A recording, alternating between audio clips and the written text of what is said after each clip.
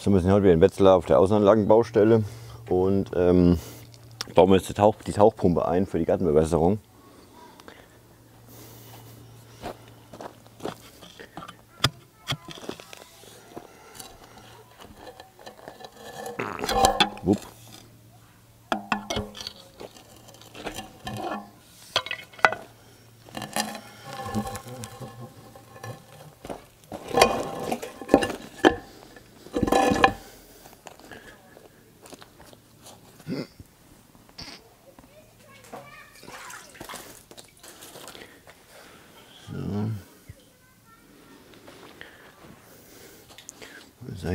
Zugseil an, um das Kabel durchzuziehen.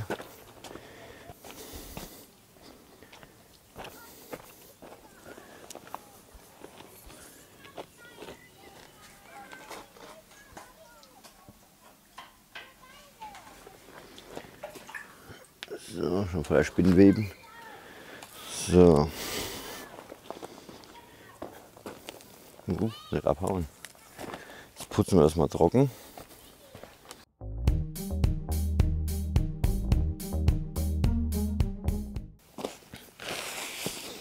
Legen wir da Kabel rein, Erdkabel. Ähm, 5x1,5 NYY.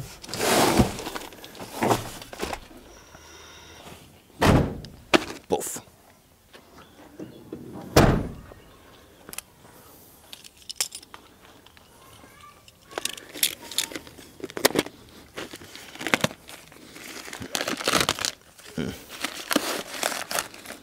So, wo ist der Anfang?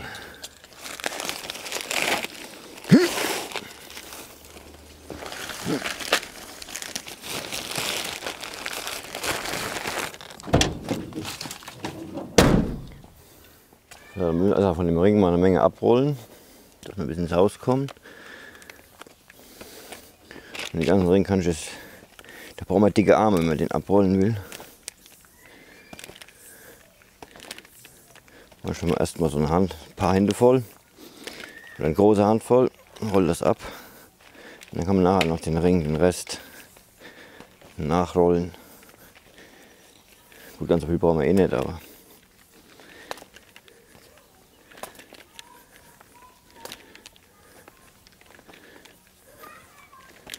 wenn vielleicht 20 Meter, 22 Meter vielleicht brauchen, mal gucken.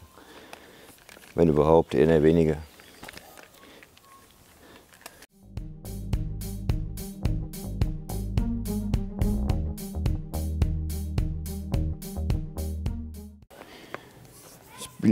Mal an.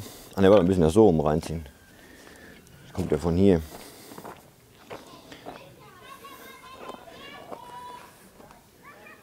So. ISO-Band. Da es eine ziemlich lange Strecke ist, müssen wir natürlich gut binden. Ich überlege gerade, oder ziehe ich mein Zugband ein. Das wäre natürlich geschickter, damit er das abreißt.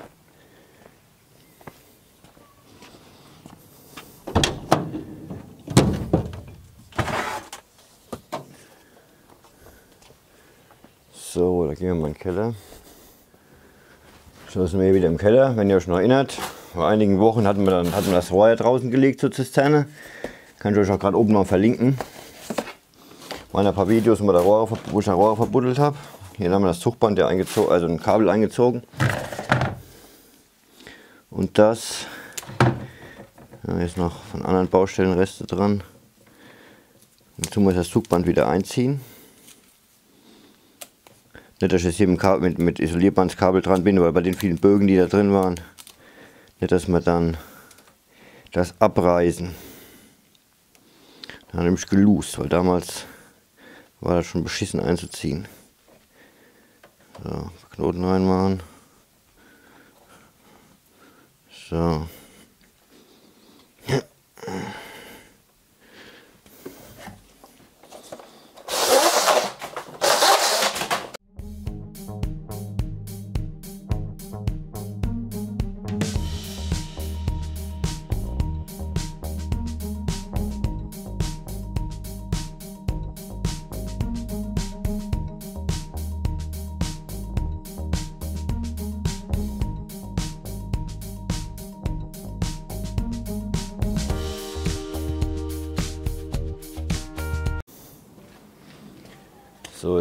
Gucke ich gerade mal, wo ich so einen Kabelstrumpf dabei habe.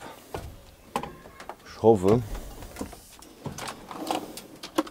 wenn nicht, können wir es da aber vernünftig anbinden. Wenn nicht, gucke ich irgendwo noch was habe, sonst noch.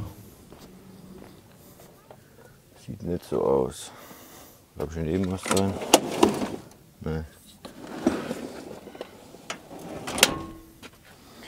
Binden wir es jetzt hier schön an. Und zwar, und zwar,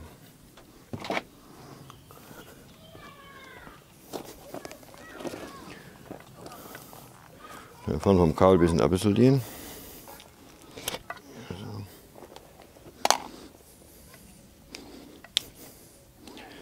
So. So, und hier kriegen wir dann durch diese Öse, kriegen wir ein zweite Räder durch.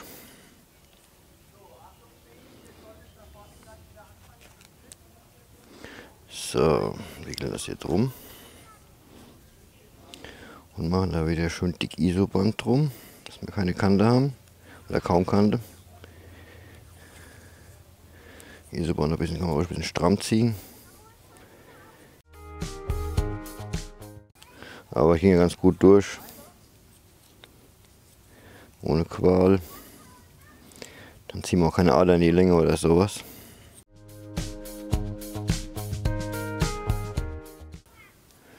So. Ziehen wir mal vorsichtig. Will erstmal das Rohr reinkommen.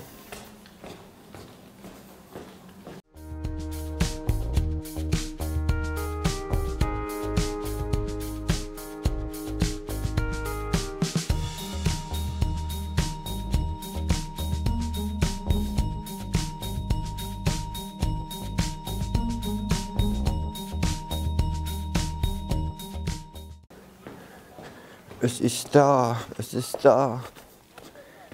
So, wir brauchen noch so in den Zellerschrank oben reinzukommen und so. Da tun wir jetzt noch mal drei Meter nachziehen. Jo.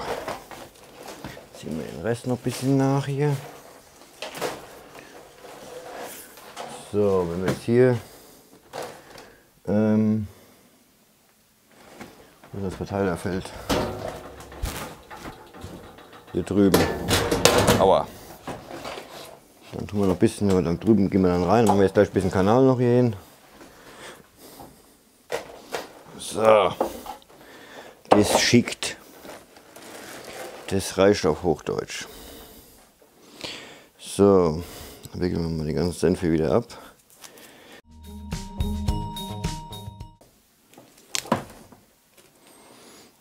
Genau mit in die Kindertragetasche rein, da hat er schön an den Kindern klebt. Lassen wir ein bisschen Ordnung halten. Sonst gibt es dann nachher Mecker.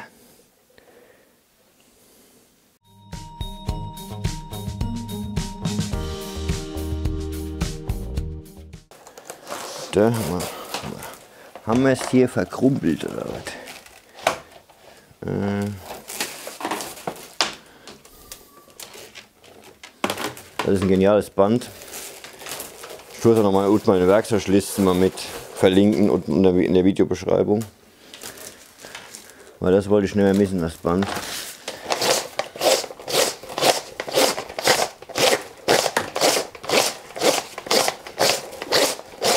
Hatte früher so diese gelben von, ähm, von einem anderen Hersteller, ich weiß den Namen gerade nicht mehr. Ähm, die sind dermaßen leicht gebrochen. Und hier das hält. So, Kalbinderreste wegtun. So. So, jetzt gibt es hier einen Zählerschrank, den ich schon nicht kenne. Weil das ein Haus, was wir nicht installiert haben. Gucken wir jetzt mal rein. Ähm, was hier so dahinter steckt. Wo wir mit den Kabeln rein können, haben wir noch eine Reservesicherung, obwohl ich mache, ich mache einen separaten FILS-Schalter, äh, dass die Pumpe hier halbe Haus dunkel macht. Aha, hier war einer zu faul, die ganzen Dinger hier einzubauen.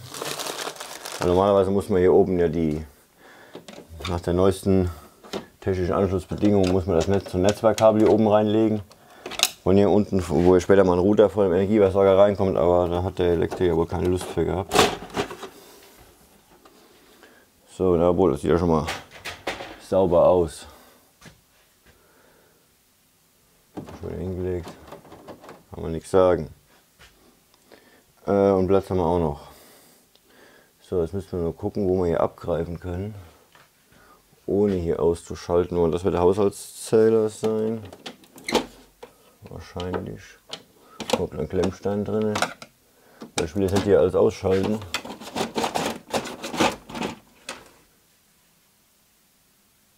Ähm Achso, das ist falls, achso, das ist für die Kellerwohnung. Was haben wir schon alles belegt? Shit. Genau, beim Keller ist meine Reservewohnung geplant, aber da kann ich jetzt schlecht dran gehen. Hier ist alles voll. Achso, es geht einmal oben in die, in, in die Etage und hier rüber. Gefällt mir jetzt gar nicht. Hm. Muss wohl doch hier unten das mal kurz ausmachen.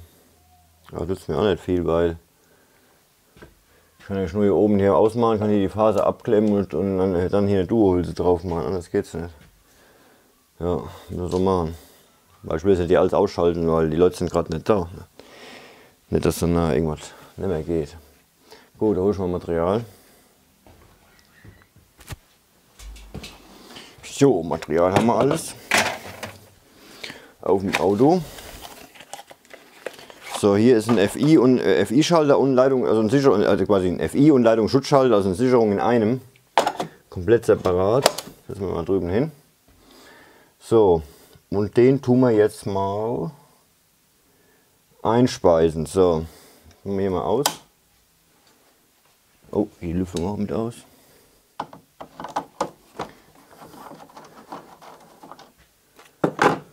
So. Das ist nämlich hier, das ist vorm FI, da ist nämlich jetzt nichts drauf, weil ich habe ja abgeschaltet. Weil 0 darf man niemals abklemmen, wenn man irgendwo eine Last drauf ist. So. Jetzt mal den mal ein bisschen kürzen. Äh, kürzen sage ich. Lehnen, na scheiße. Klappt hiermit nicht so gut.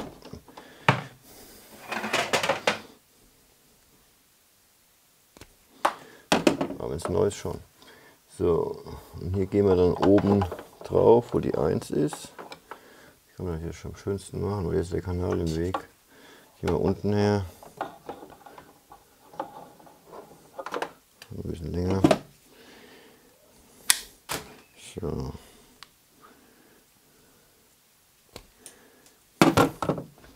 So, auf die eine Seite kommt dann eine doppelte, also eine Duo-Hülse.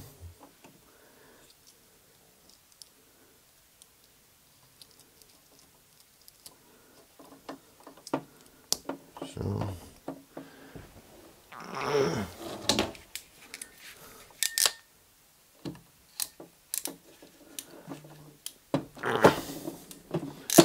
So. Und auf die andere Seite eine einfache.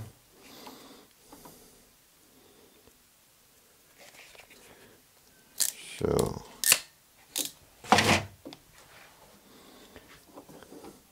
So, dann kriegen wir den Onkel unten wieder dran.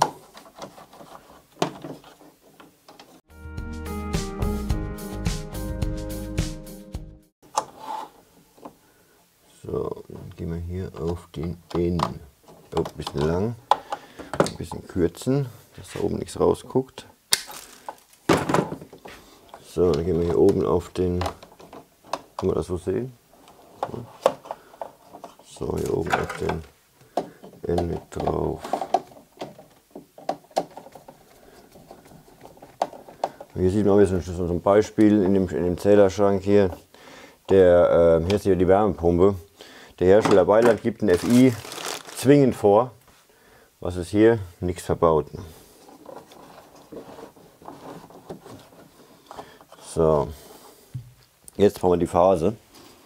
Dann messen wir uns jetzt mal. Ähm, das sind die schwarzen hier oben. Ähm, wer ist wer? Ne? Wer sieht, ähm, man schuldet schon gerade mit der Kamera mal hier vorne hin. So, hier sind ja die drei Phasen. Und hier die, die schwarzen Drähte hier, das sind die, die hier abgehen. Die braunen, die kommen vom Zähler und ähm, hier das herübergebrückt auf die Kellerwohnung, weil die noch keinen separaten Zähler hat. Ähm, hier der Duspol, der kann auch Durchgang piepsen.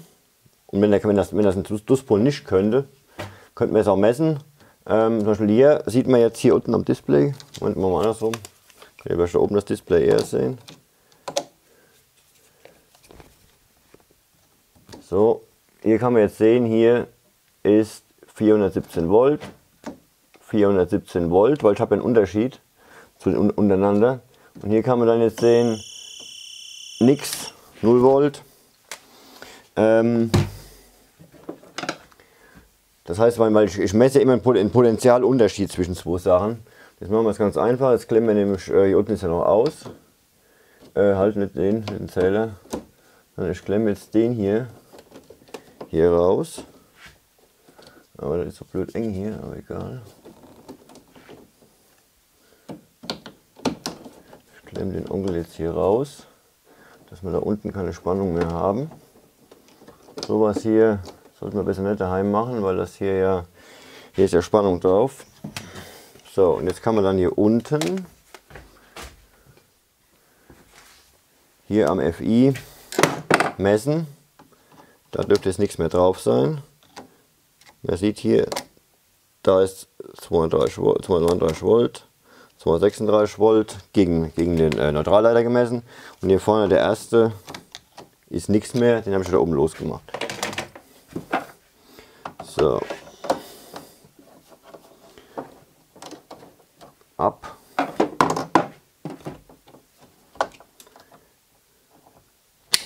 Gut, so Sachen hier, da holt euch einen Elektriker. Äh, weil hier geht es ja, sag ich mal, nicht gerade um ungefährliche Spielchen, wo man mal richtig einen gewaffelt kriegen kann. Aber ich sehe gerade, ich habe einen, äh, einen, schwarzen, einen braunen Drahtgurt, schon gerade noch einen schwarzen. Das sieht ein bisschen affig aus. So, jetzt haben wir ja auch schwarz 10 Quadrat, weil ich hatte nur braun eben aus Versehen geholt, weil wir wollen ja nicht mittendrin die Farbe wechseln.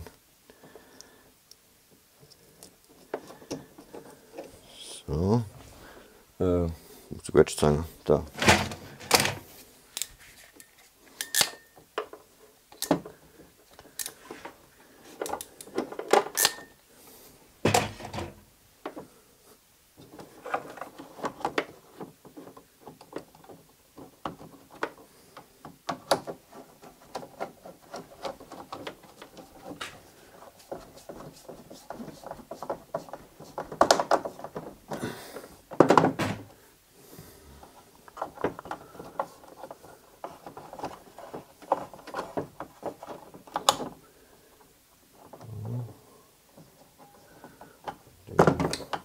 passt so.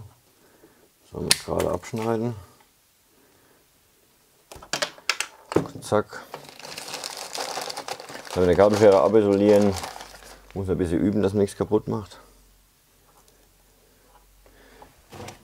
Ohne ein Äderchen mit rauszuschneiden.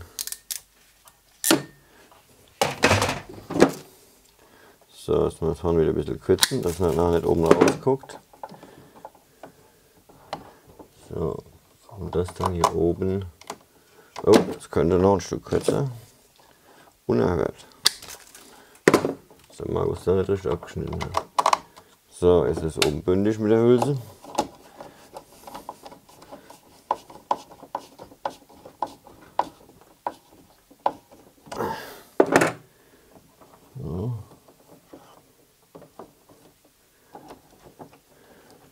Gut, so, das haben wir dran. Die sind alle wieder fest. Wir gucken jetzt gerade nochmal nach. Gucken, ob der Elektriker auch gut festgedreht hat. Ja.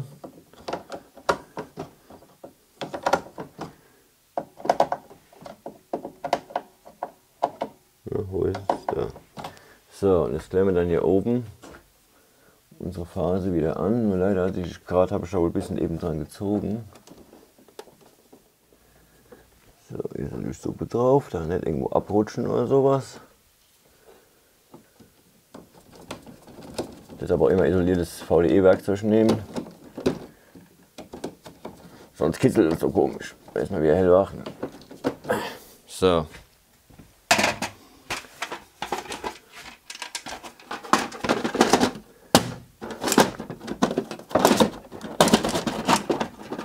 Hager. Ein bisschen passgen, passgenauer arbeiten können. Mehr passt doch.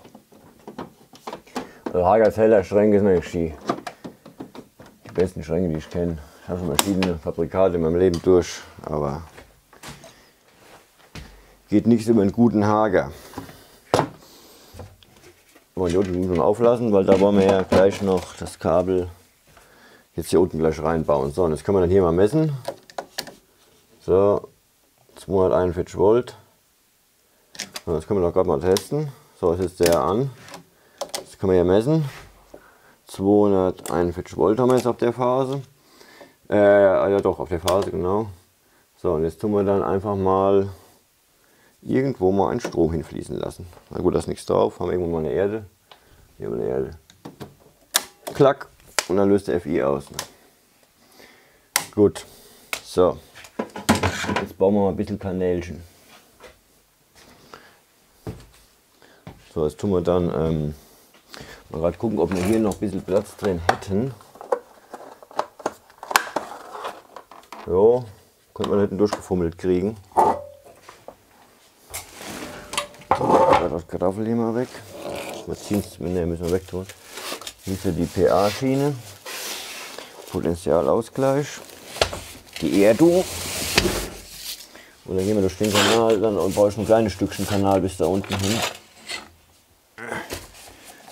Erst irgendwo die Reserve fließen. So. Ich habe wahrscheinlich keinen 60er, ich habe nur einen 40er dabei, aber ist nicht schlimm. Dann machen wir dann hier gerade hier so ein kleines Stückchen Kanal rüber, wo wir von unten im Kabel reingehen. Hol ich mal Werkzeug. So, was machen wir hier mal ein Stückchen Kanal. Äh, machen die ein bisschen länger, machen wir so ein bisschen da drüber. Machen wir 40 cm. So.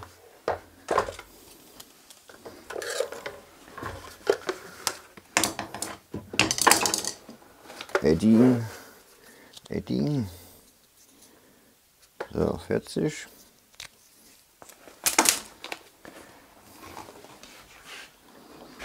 Strom.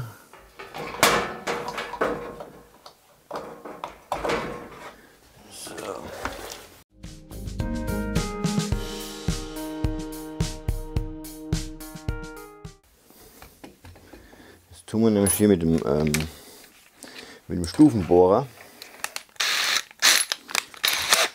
Habe schon irgendwas ein Set im, im Lidl gekauft. So, tun wir dann hier genau hier drüber. Tun wir dann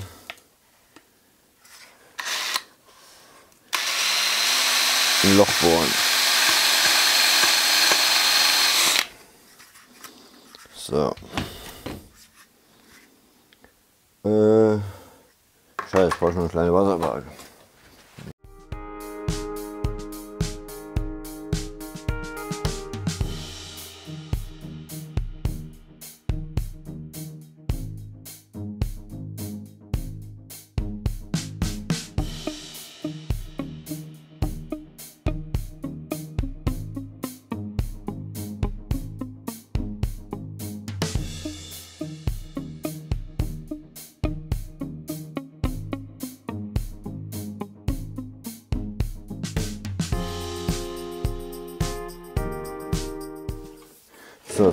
Wie lange wir ah, nach oben brauchen. Momentchen.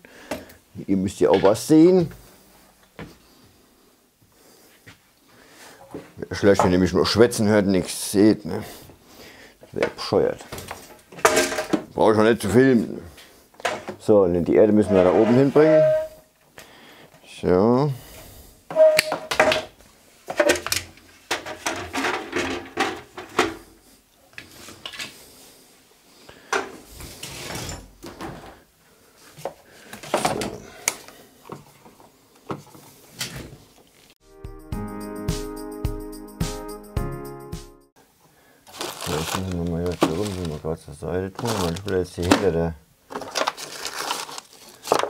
Gebohrt hier drin, jetzt sauber gemacht. Kann ja echt gewesen sein.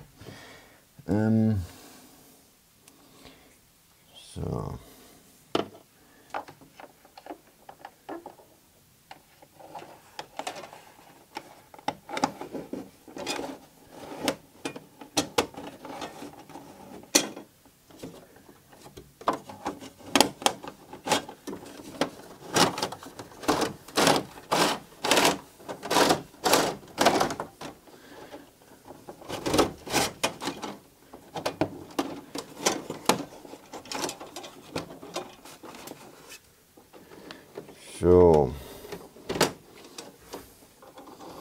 Jetzt haben wir hier unten das mit Karl Binnen schön festmachen. Die hole ich gerade ein paar Stück, weil man da kann ich ja gerade schon die Maschinen mitnehmen. Die brauchen wir jetzt hier nicht mehr.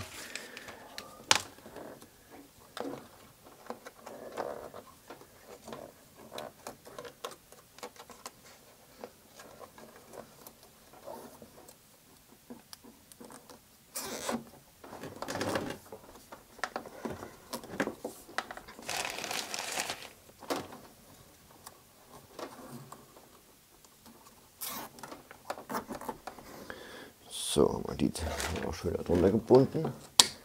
An die anderen Kabel, die schon hier liegen.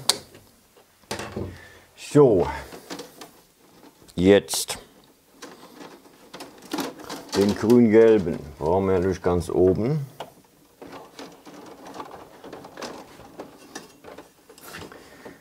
Weil die Erde ist ja nicht getrennt.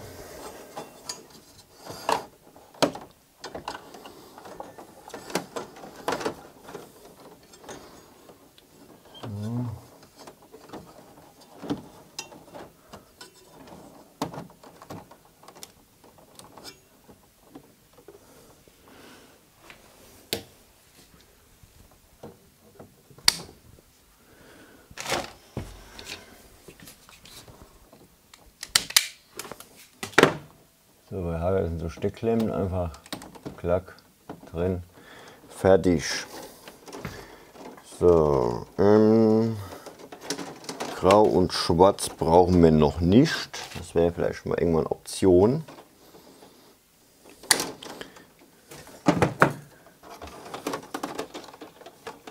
Hier rollen wir mal hier hinten rein. So. Und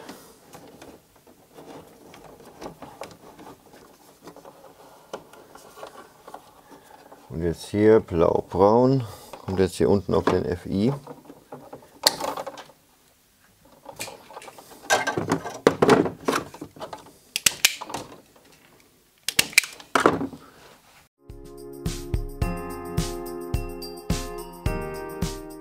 So biegen wir das hier noch schön hinein, dass auch ein bisschen was aussieht.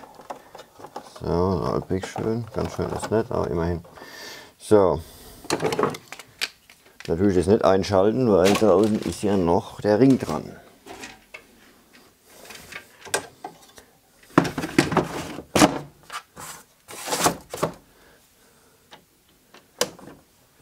Ah, halt. Das, was der Elektriker nicht montiert hat, das müssen wir noch wieder hier, hier rein tun.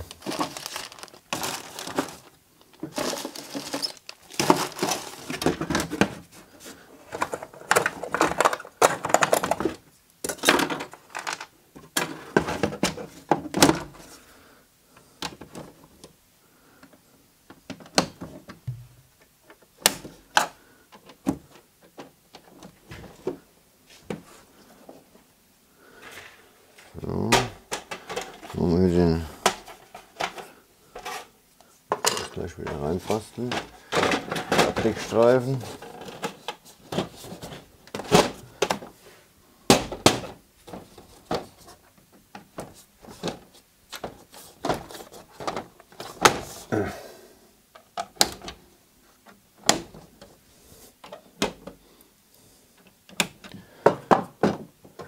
So, und hier brauchen wir dann noch so einen schmalen Onkel. Kann man so abbrechen, die Streifen. So, da ist da auch die Tür zu. So, jetzt tun wir dann noch Äh, das hier draufschreiben. 49,50 schreiben wir jetzt gerade mal hier hin.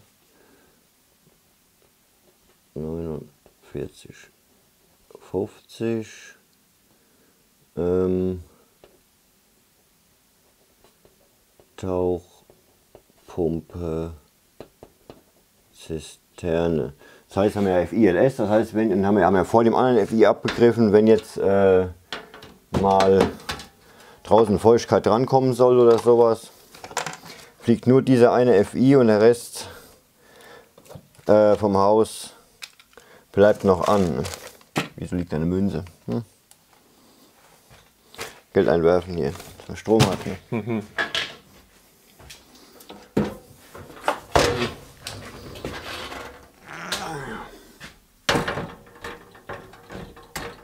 So, dann wir mal eine Steckdose reinbauen. Ich habe ja eine von Madden, leider nur eine Doppelsteckdose dabei. Ich habe mir daran gedacht, dass ich eine einfache brauche. Ähm, ich dübel mal jetzt hier oben hin. Sind wir relativ weit über dem Wasserspiegel. Äh, dann machen wir hier drauf auf den Ring, falls wir den Ring nochmal hochsetzen müssen. Weil, weil hier wie der Split hier aufgefüllt wird. Ist ja noch offen. So. So,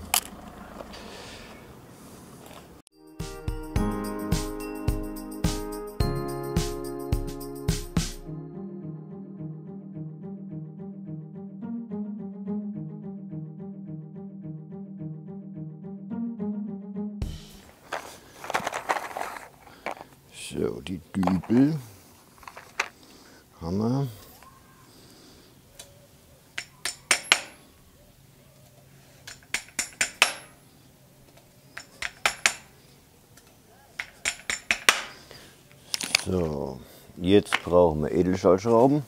Das ist am Nassen. So, haben wir die irgendwo immer hingetan. So, das Kabel kommt da unten an. Gehen wir dann hier rein. Das können wir nachher noch ein bisschen festbinden.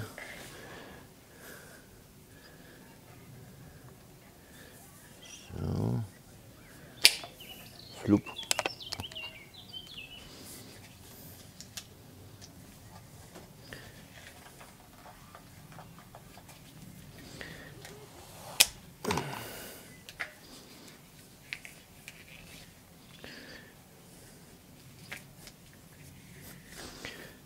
So, hier den Ungel schneiden wir hier aus. So, das war ja diese Seele vom Kabel, die wir nicht brauchen. Die Herstellungsseele. So, Tülle raus. Hier das hier rein.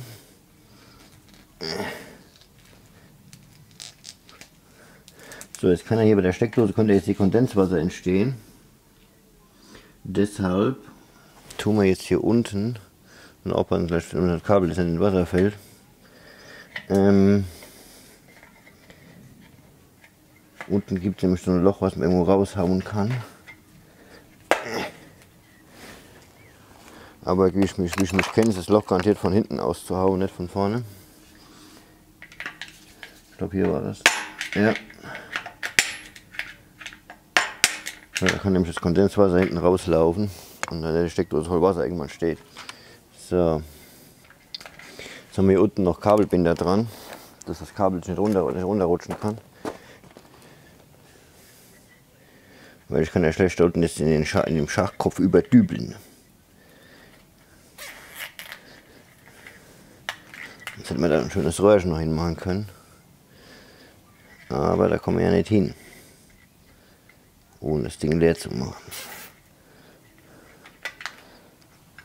So, zwei Kabelbinder. So, da rutscht das Kabel nämlich nicht mehr raus. So, so die beiden, so grau und schwarz brauchen wir nicht.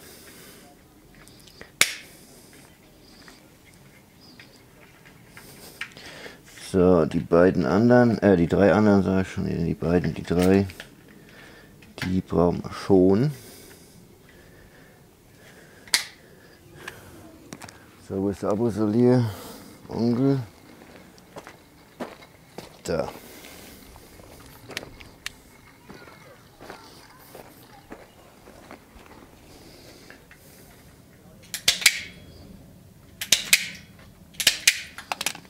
So. Oh, das wird kurz abisoliert. Ein bisschen länger könnte man schon machen.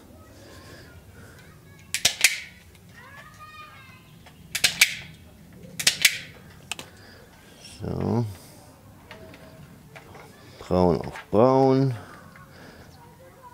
Blau auf blau, wenn er richtig reingehen würde, macht er gerade nicht. So, jetzt immer mal dran ziehen, dass die richtig eingerastet sind. Klack. So. So.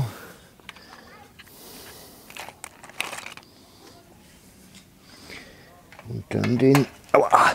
Mmh, auf der Kante. Den Deckel reinbauen. Also beim Festziehen von eben dem Unterteil darauf achten, dass man das nicht total verzieht. Weil dann kriegt man natürlich schon nicht mehr richtig zusammengeschraubt.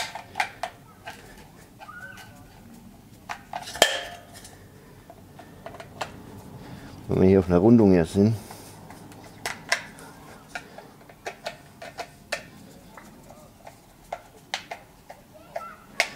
So. Schöne Steckdose. So, jetzt geht's los mit der Pumpe. So, als ähm, Tauchpumpe habe ich hier eine Gardena, ähm, was das für heißt, wie heißt sie? Komfort 6000-5 Automatik.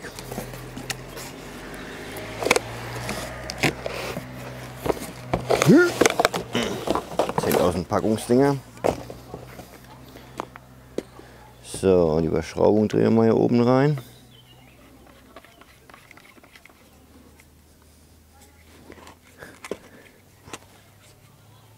So, Kabel binden wir nachher weiter oben noch ein bisschen hin. Aber wir brauchen hier unten ein bisschen mehr als, ist ein bisschen tiefer als hier den, also die 50 cm hier. So, ähm, wo das Kabel theoretisch unter Wasser bleiben kann.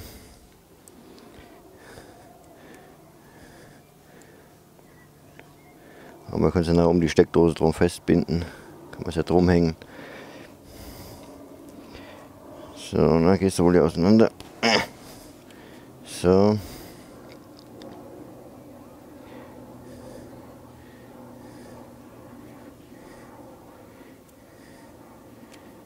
So. Jetzt hier ist noch ein Kordel dabei. Muss die Pumpe irgendwann wieder hochziehen können. Die zieht mir ja nicht am Kabel hoch, das wäre ja nicht so schön. Kann man, kaputt, kann man es abreißen. Jetzt hast du eine Schnur dabei. Und was ist hier der Anfang? Das hier? Ah ja. So.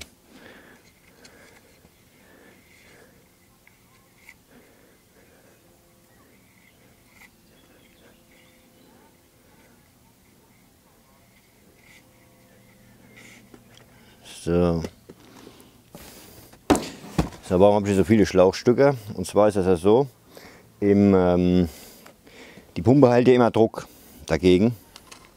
Ähm, das heißt, die, äh, sobald man aufdreht, startet die und die hält immer Druck gegen. Hier ist natürlich das Problem. Ähm, Im Winter, gut, ihr könnt das ja kaputt frieren, deshalb will ich hier oben so ein T-Stück reinmachen, oberhalb vom Wasserspiegel, dass man das im Winter dann ablassen kann, das Wasser, wenn man den Stecker von der Pumpe rauszieht. So, bauen wir das mal ein. So, das tun wir als allererstes, äh, damit wir die Länge noch nicht wissen, wie tief der, das Ding ist. Tun wir den Schlauch gleich oben auseinanderschneiden. So tun wir erstmal hier oben den Schlauch mit der Schlauchstelle festmachen. Ich habe welche gekauft.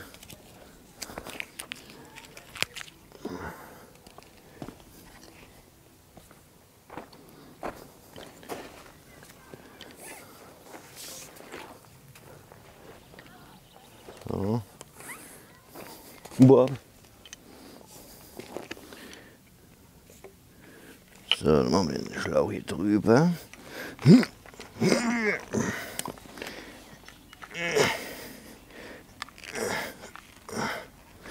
So.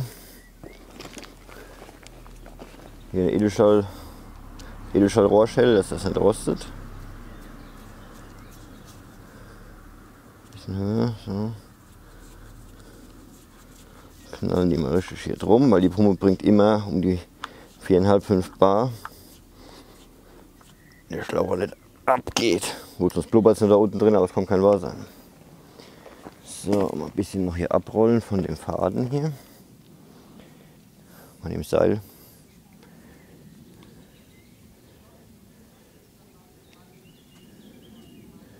So. Jetzt lassen wir den nur Kabel müssen auch vielleicht ein bisschen abrollen erstmal. Blub, blub, blub, blub, blub.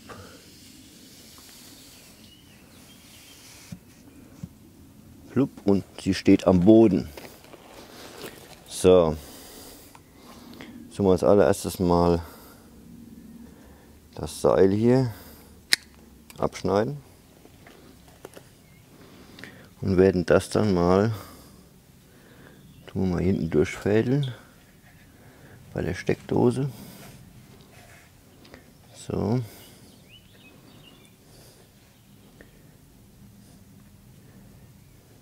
Weil die ist ja bombisch fest, dass zumindest mal das Seil nicht abhaut. So. Dann die Schlauchgeschichte. So, wir wollen ja oberhalb, gut, das heißt oberhalb dem Wasserspiegel, wir müssen es gleich hier neben noch dran binden. Das heißt, wir binden das jetzt gleich hier noch mit fest. Äh, Kabelbinder, äh, Kabelbinder am besten. Weil sonst fällt uns ja jedes Mal das ganze Ding hier runter.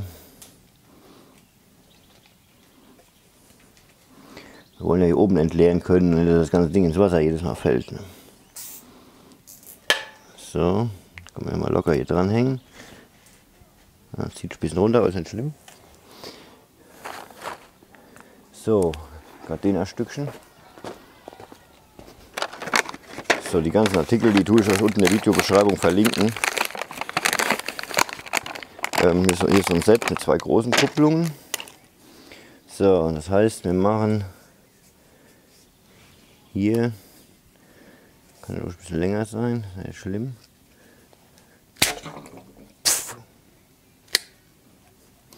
Automatische Luftdruck dahinter, weil oben der Hahn ja noch zu ist. So, drehen wir das hier mal auf. Das ist ja dieses große System von Gardena, dieses Dreiviertel Zoll.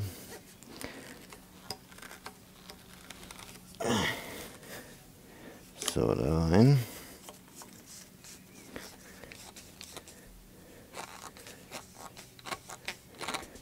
Klammern das mal fest. So, dann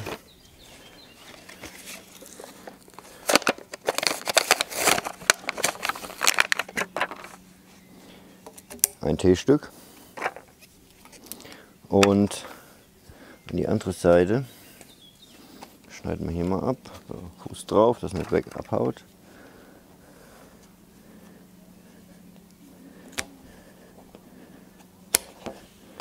So, und machen dann hier auch eins dran.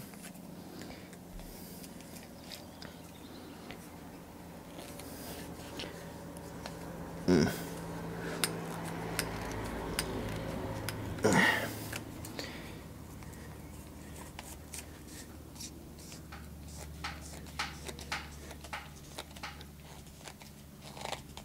So.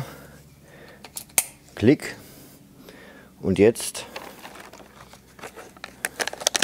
habe ich hier noch so einen Kugelhahn. Von Gardena, halb Zoll, das ist also im Prinzip drei Viertel, drei Viertel auf halb. Ne? Das heißt, glaube ich, bei denen, wie heißen die Maße da, äh, also 13 mm, 19 mm, also XL plus normal heißt das dann. XL heißt die große und das ist das normale.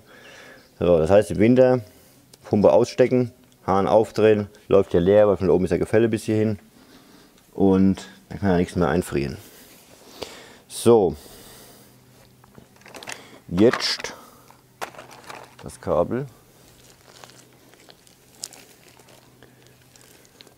Haben wir selber ein bisschen Knötchen hier, ein bisschen Chaos reingezogen. Machen wir den Stecker zum erstmal zur Seite.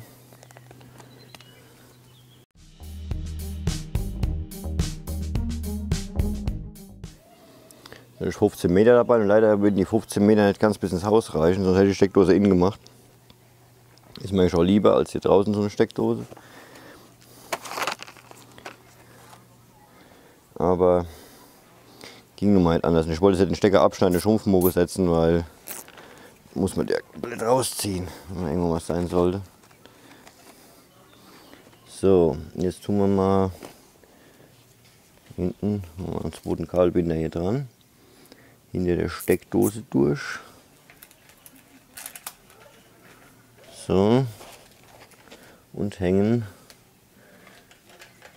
dann das Kabel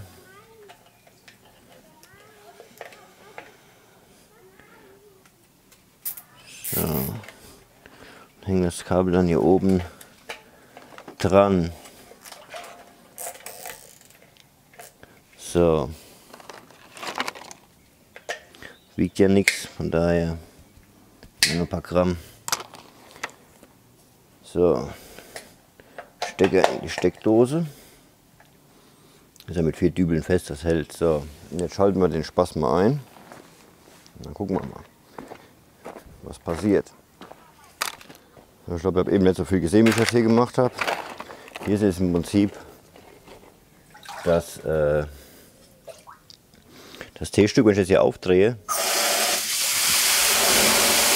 springt die Pumpe direkt an und baut Druck auf.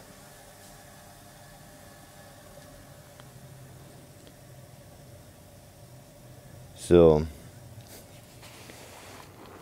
Jetzt hat er wieder abgeschaltet, jetzt hat er gerade ein bisschen gebrummt, hat wieder Druck aufgebaut.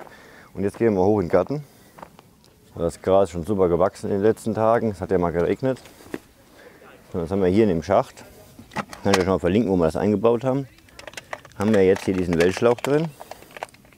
Jetzt hier aufdrehen und erstmal viel, viel Luft und schon ist das Wasser dann da. So, ich weiß, ist ein Aquastopp drin, ja. Ähm, da kann man nämlich jetzt hier den Rasensprenger anschließen.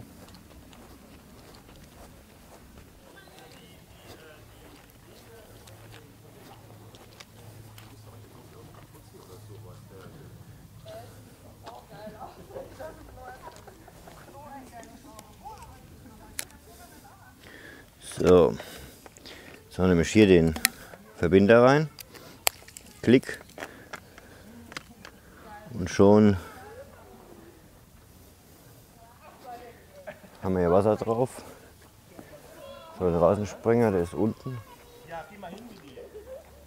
Also der Sprenger ist auch weiter, wesentlich weiter als das mit Wasserhahn. Hier haben wir 5 Bar, im Wasser hat man 3 Bar.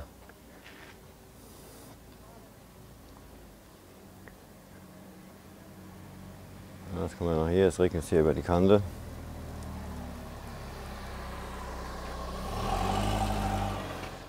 So, alles fertig.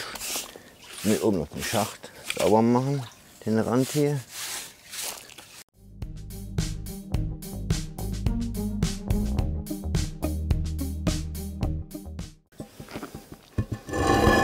So, und schon ist die Regenwaldzisterne, ich habe jetzt 6000 Liter drin man ja schon mal ein bisschen was mit dem Rasen springen.